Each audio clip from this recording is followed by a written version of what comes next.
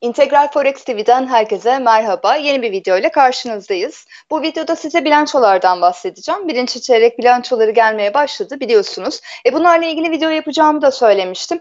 Her bilanço, her bilanço değil de hani böyle havacılık sektörü, otomotiv sektörü, beyaz eşya, demir çelik sektöründen şirketlerin bilançoları açıklandığı zaman ben de karşınızda olacağım. Size bilançoları yorumlamak amacıyla. Bu konuda zaten e, integral e, müşterilerimize e, yatırım yapan müşterilerimize raporlar gönderiyoruz. Siz de eğer hani ziyaret ederseniz, bizi ararsanız bilgileri bu koşulda da alabilirsiniz. Ama öncelikle bir Topaş bilançosundan bahsedelim istiyorum otomotiv sektörü içerisinde yani en beğendiğimiz şirketlerden bir tanesi Tofaş. Şimdi bilançosu bana göre iyi geldi. Ee, yani bu ortamda gelebilecek, e, geçen sene birinci çeyreğe paralel bir e, bilanço geldi ama bence iyi bilançolarından bir tanesi derseniz Tofaş'ın bilançosunu örnek verebilirim. E şöyle ki e, satışlarını, e, ana ortaklık net karını geçen sene birinci çeyrekle bu çeyrek arasında yüzde yedi arttırdı. Sınırlı bir artış var. Ama önemli olan e, net satışları. Şimdi e, bu çeyrekte birinci çeyrek 2020 yılı birinci çeyreğinde satışlarda yüzde on bir nokta yedilik bir artış var. Özellikle satışlardaki kırılım biraz önemli. Çünkü yurt içi satışları burada ağırlık kazanmış. Neden peki yurt içi satışları? Çünkü biliyorsunuz geçen senenin oldukça zayıf bir baz etkisi vardı. Ertelenmiş talep vardı. E, geçen seneyle bu sene kıyaslandığı zaman düşük faiz ortamındayız şu anda. Dolayısıyla aslında salgın hiç olmasaydı bence Tofaş'ın daha da iyi bir bilanço getirme şansı da yüksek olacaktı diye düşünüyorum. Bu benim kendi yorumum tabii ki. Diğer taraftan ihracatta da artışlar var. E, yani şöyle söyleyeyim, yurt içinde e, satışların kırılımında yurt içinde yüzde 47'lik bir iç pazarda, iç satışlarda, yurt içi satışlarda artış, yurt dışı satışlarında da yüzde 0.7'lik bir artış olmuş. İhracatta bir miktar azalma olduğunu söylemek mümkün ama yurt içi satışları bunu kompanse etmiş. Diğer taraftan FAVÖK e, ve esas faaliyet karına baktığım zaman Şimdi esas faaliyet karı bir önceki çeyrekte yani 2019 yılının birinci çeyreğine paralel gelmiş. Tofaş'ın favori ise yani çok sınırlı yüzde e, ikilik bir azalma olmuş ama bu çok çok da büyük bir etkilenme olduğunu söylemek mümkün değil çok hafif e, geçen seneki çeyrekle bu sene çeyrek kıyaslandığında karlılıkta yani marjlarda çok hafif düşüşler var ama 2019 yılı dördüncü çeyrekle kıyaslandığımız zaman sınırlı da bir artış olduğunu söylemek mümkün. Yani TOFAŞ'ın bilançosu bana göre e, çok kötü bir bilanço değil. Geçen seneyi en azından korumuş, sınırlı bir iyimserlik katabileceğini düşünüyorum. Net karda görece %7'lik artışta etkili olan ciroda artış ve e, vergi kalemindeki etki biraz daha öne çıkmış. E, şimdi şirket baktığımız zaman e, biraz net borç pozisyonunu yükseltmiş. E, şirketin bu çeyrekte e, 2.8 milyar TL'lik bir net borcu var. Yani geçen çeyreklerle kıyaslandığı zaman biraz net borçta artmış artış olmuş. Bu dikkatimi çekti ama e, yani net borçla Fave'yi kıyasladığımız zaman yüzde birin altında bir oranlama yapıyoruz ve likidite e, oranına, cari orana baktığımız zaman da bence şirketin borç çevirme sorunu yani borcu karşılama sorunu yok görünüyor. Şirketin geleceğe yönelik beklentileri revize edilmiş. Bunu e, faaliyet karın, e, faaliyet e, e, raporunda görebilirsiniz. E, sunumu da yayınlandı. Sunumda da görebilirsiniz. E, ben bunları size hani çok detaylı bir şekilde anlatmayacağım ama 2020'de daha önce açıkladığı beklentileri aşağı yönde revize etmiş şirket. E, bunları da yakalayabileceğini düşünüyor. Şimdi e, aslına baktığınız zaman Nisan ayında diğer bütün otomotiv sektöründeki şirketler gibi Tofaş'ta bir duruşa gitti. Yani üretimde araya gitti. Bu tam olarak e, 20 Nisan'a kadardı sonra 4 Mayıs'a kadar bunu e, biraz daha uzattı. Yani 4 Mayıs'tan itibaren şirket üretim, üretimine başlayacak. Toplam olarak da 20 iş günü tam duruş oldu. Dolayısıyla bunun ikinci çeyrek finansallarına bir negatif etki edeceğini düşünüyorum. Avrupa'dan aldığımız veriler hem büyüme hem otomotiv, otomotiv sektörüne yönelik veriler de baktığımız zaman bir daralmaya işaret ediyor. Dolayısıyla artık bütün bunlarla birlikte ikinci çeyrekte bu kadar olumlu bir e, yani bundan daha düşük bir bilanço geleceğini düşünmekteyim. Ama işte iyi şirket kendini burada belli ediyor. Tofaş'ın güzel yapmış olduğu bazı adımlar var. Özellikle fiyatla bir anlaşması vardı. Al ya da öde. E, bununla e, toplam cirosunun içerisinde %80 payı olan ihracatını koruma altına almış oldu. Dolayısıyla aslında hani iyi şirketlere yatırım yapın, işte borcu az olsun, işte nakitte olsun, e, doğru adım atan şirketler olsun dediğimiz şirketler bunun gibi adımlar atıyor. Dolayısıyla aslında TOFAŞ'ın uzun vadede de güzel bir e, bunun e, ekmeğini yiyeceğini, bu hareketle birlikte iyi bir hamle olduğunu düşünüyorum ki şirketin e, Yeni Doblo, Yeni Doblo Amerika projesi, Egea ailesi, ve diğer yatırımlarıyla alakalı finansmanları için aldığı krediler bu FSA tarafından garanti altına alınmış. Yani şirket için iyi bir hamle olmuş. Ee, ve son olarak da şunu söylememde fayda var. Hani e, büyük bir ihtimalle Türkiye'de Haziran ayına doğru bir toparlanma olabilir. Mayıs ayının sonunda eğer ekonomiler açılmaya başlarsa Haziran ayında da otomotiv sektöründe hafif hafif canlanma olabilir. İkinci çeyrek zayıf gelecek. Üçüncü çeyrekte bence TOFAŞ'ta bir normalleşme olabilir. Dördüncü çeyrekte de artık talep artışına geçebiliriz. Bunu belirtmemde fayda var. Peki Tofaş'ı alalım mı, satalım mı, varsa tutalım mı? Şu anda baktığımız zaman Tofaş e, bu e, finansal sonuçlarla birlikte açılışta yukarı yönde bir hareket etti ama TUASO'da genel anlamda zaten eğilim güzel. Yani e, 22 günlük hareket ortalamasının üzerinde, 50 günlüğün üzerinde teknik anlamda güzel. Baktığımda firma değeri satışlarda ve e, firma değeri EBITDA çarpanlarında son 6 çeyrekte görece iskontolu hareketler var. Yani pozitif bir etki aldık açılışta ama aldığını geri verdi. Dolayısıyla geri çekilmelerde uzun vadeli olarak bakacaksanız bence TOFAŞ hissesi değerlendirilebilir. Burada hani e, 23 e, Mart'tan itibaren zaten bir eğilim, yukarı yönde bir eğilim içerisinde. Eğer bir düzeltme olursa buradan değerlendirme yapma şansınız da olur. Benim için önemli bir teknik seviye var.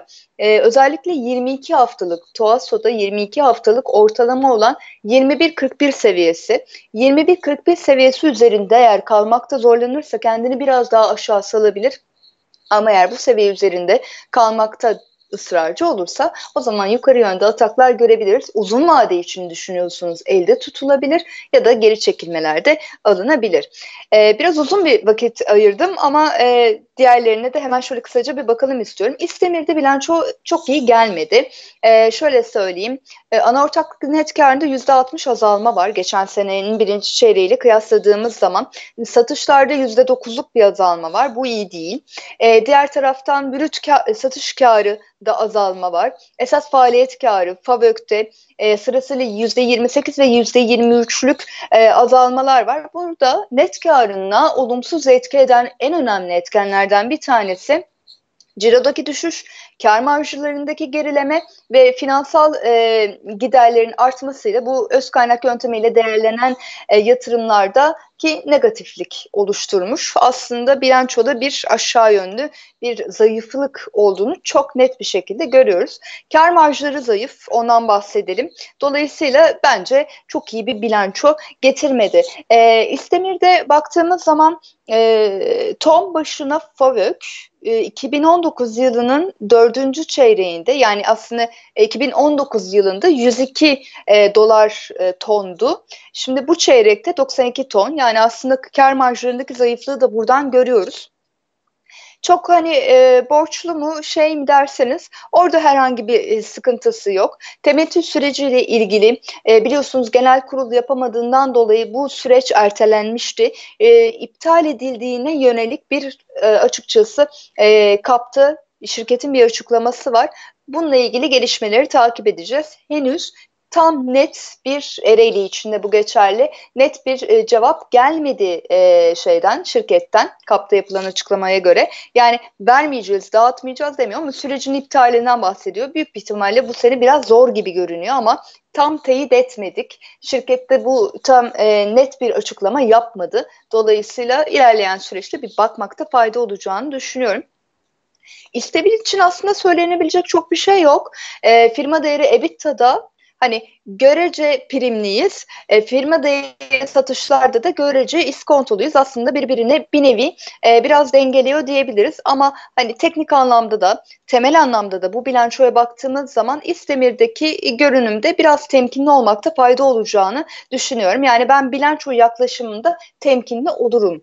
E, onu söyleyeyim. E, ikinci çeyreğin de zayıf geleceğini düşünüyorum. Dolayısıyla aslında İstemir için biraz da e, yavaşlamakta fayda var. Elinde İstemir hissesi olan yatırımcı için hemen şöyle bir teknik görünüme bakacaksak eğer 20 50 haftalık ortalama 6.76 seviyesinden geçiyor.